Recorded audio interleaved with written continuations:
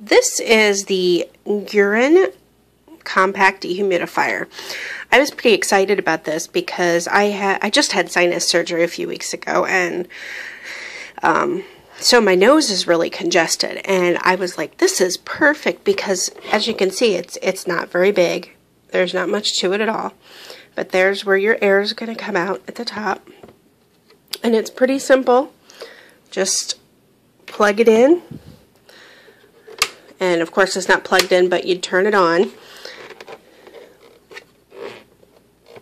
And then I believe, there we go. There we go. And this is where you're going to put your water in.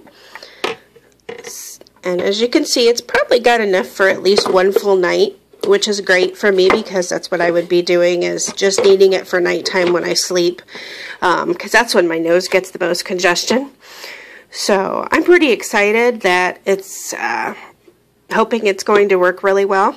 Um, but I've tried out several products from Gurin before and I've loved them all. So definitely uh, excited to try this one out and tonight's going to be the first night. So check them out on Amazon and check out my review. Thanks.